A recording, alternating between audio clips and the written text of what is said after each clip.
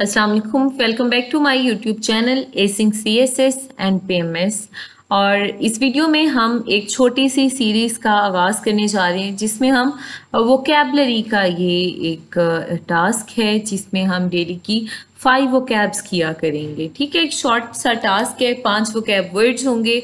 ये जीआरई की वो कैब लिस्ट से लिस्ट से जो है वो लिए गए वो कैब वर्ड्स हैं।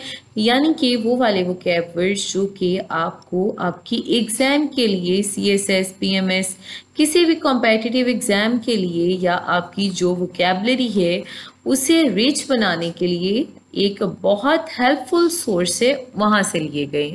तो हम जो है आ, आप मेरे साथ रहिएगा इस सीरीज़ में। तो हम यहाँ से इस सीरीज़ का आगाज़ करते हैं। सबसे पहले है अबेट अबेट किसे कहते हैं? किसी चीज़ की इंटेंसिटी को कम करना को लेसन करना को। इसके सिनोनिम्स हैं। इसके सिनोनिम्स में ईज आ जाता है लेसन सबसाइड फेड डिक्लाइन ये इसके सिनोनिम्स हैं। सबका मतलब जो है वो किसी की इंटेंसिटी को, शिद्दत को कम करना है। एंटोनिम इसका क्या होगा? मुतजाद क्या होगा? इंटेंसीफाई ठीक है? बढ़ा देना किस चीज़ को। For example we will have to wait for the storm to abate कि हमें तूफ़ान के कम होने का इंतज़ार करना पड़ेगा। इसी तरह the fight fighting in the area shows no sign of abating के एरिया में जो फाइट हो रही है, वहाँ पे कोई साइन नहीं है उसके कम होने का। एबिडेंट किसे कहते हैं? एबिडेंट कहते हैं गुमराही को। ठीक है, कोई, यानी कि आपका जो नॉर्म है, आपका जो सीधा पाथ है, वहाँ से डेविएट करने को, वहाँ से मुड़ जाने को, वहाँ से गुमराह हो जाने को हम एबिडेंट कहते हैं। फॉर एग्ज़ाम्पल इसके सीरोनिम्स क्या हैं?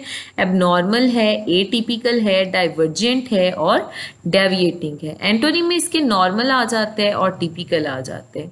For example deviant behaviour is one of the features of certain types of mental illness ठीक है? तो आप एबिडेंट बिहेवियर यहाँ पे कर लें डेविएंट की जगह पे। तो ये जो है, एबिडेंट कहते हैं हम गुमराही को। एबजर एबजर कहते हैं टू रीनाउंस या कोई चीज़ रिजेक्ट कर देना, को कोई चीज़ जो है वो तरक कर देना को, कोई चीज़ जो है वो छोड़ देना को हम क्या कहते हैं? एब्जर कहते हैं। तो इसके सिनोनिम्स में रिनाउंस आ जाते हैं रिजेक्ट रेकेंट और टू अवॉइड आ जाते हैं। एंटोनी में इसके एम्ब्रेस आ जाते हैं और एडॉप्ट आ जाते हैं। For example in order to marry the peasant he loved the princess he loved the prince made the decision to abjure his title के उस पीजेंट से शादी करने के लिए प्रिंस को अपना टाइटल जो है वो छोड़ना पड़ा।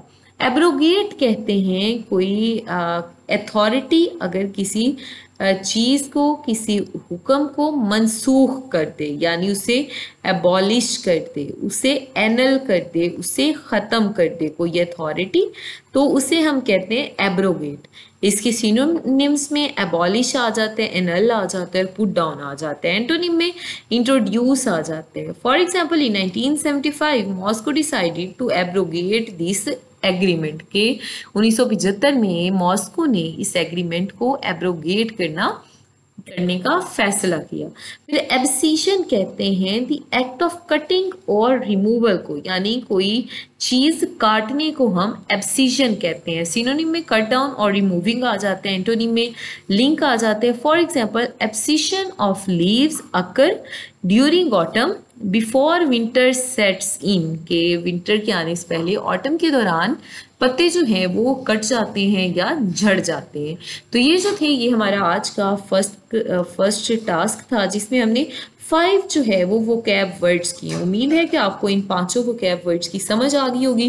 को कोशिश करें कि आप जो है इन वो कैब वर्ड्स को अपनी डेली राइटअप्स में इस्तेमाल करें, ताकि ये जो वो कैब्स हैं, ये आपके अच्छे से आपको याद हो जाए। मज़ीद आप जो है, आप एक एक सेंटेंस जो है इन वो कैब रिलेटेड कॉमेंट बॉक्स में भी बना सकते हैं। आई विल एवेल्यूएट कि आइधर आपने वो ठीक बनाए हैं या उनमें कोई ग्रामेटिकल कोई स्ट्रक्चरल या किसी किस्म का कोई जो है वो इशू है। तो अगली वीडियो में हम मज़ीद पाँच वर्ड्स वो कैब उनके सीनोनिम उनके एंटोनिम और सीखेंगे, उनका इस्तेमाल सीखेंगे। इस, आपने अगर चैनल को सब्सक्राइब नहीं किया तो इस सीरीज़ में शामिल होने के लिए आप चैनल को सब्सक्राइब कर दें शुक्रिया अल्लाह हाफिज़।